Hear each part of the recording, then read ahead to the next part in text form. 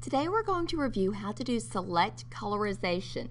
That's when you take an image, make it black and white, and then allow part of the color to really pop out.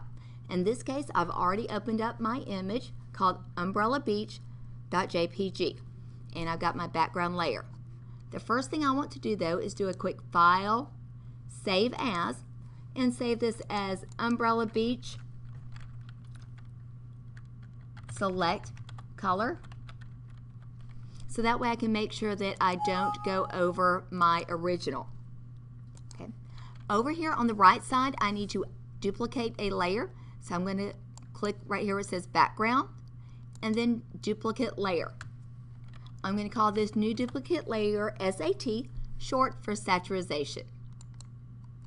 Over here on the right, I now have two layers, background and SAT. I need to be on the SAT layer. Now I want to add an adjustment layer. So up here I will go to Layer, New Adjustment Layer, and then I'm going to select Hue Saturation. I could just click OK with the new layer name. Now I want to take the saturation from 0 down to minus 100 and as you can see it has turned the image black and white now. I'm going to close that properties panel now for a shortcut, I can click the letter B on my keyboard and that will bring up our brush menu.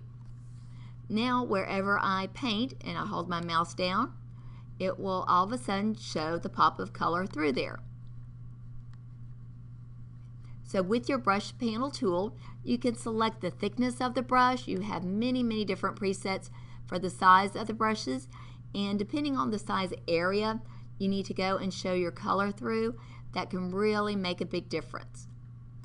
Another key point to look at to make sure this is working correctly is that you have the black color as your background and white as your foreground. You can check this over here in the bottom left where they have the colors. If it's inverse, you can click right there where it has the little thing where you can toggle between the foreground and background colors. So let's suppose I'm over here and I accidentally do this and I want to go back and erase that. All I have to do is to come over to the erase tool, select erase, and then it works the opposite way. Instead of revealing the color, it's going to erase the color and go back to the original black and white image. With this, you may need to go to View, Zoom, and zoom a little bit okay, if you want to really, really make sure this is kind of looking um, exactly the way you want it. So remember then you can go back to the paintbrush tool and kind of take your time if you want to kind of go pixel by pixel and make sure you've got that all taken care of. And then when you finish, you can go back from zoom back to 100 or you can do the shortcut.